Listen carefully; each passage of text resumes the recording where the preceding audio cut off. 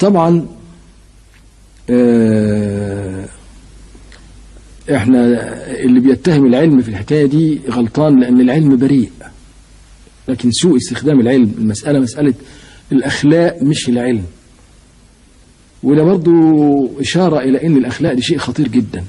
لأن مجرد سوء استعمال سلاح زي ده ممكن ينهي العالم كله. فشوفوا قد إيه حكاية ش- شر والخير شر الإنسان وخيره. وعشان كده الله سبحانه وتعالى يقول للنبي وإنك لعلى خلق عظيم. ما قالش وإنك لعلى علم عظيم. ليه؟ لخطورة كلمة خلق.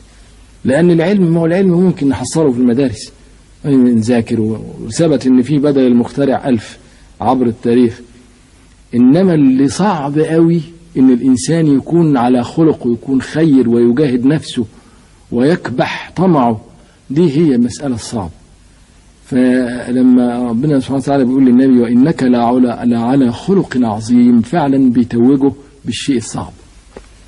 ما قالش وإنك لعلى علم عظيم لأن ثبت إن العلم لا هيودي ولا هيجيب ده العلم ممكن إذا أسأت استخدامه يجيب أجل الكون كله.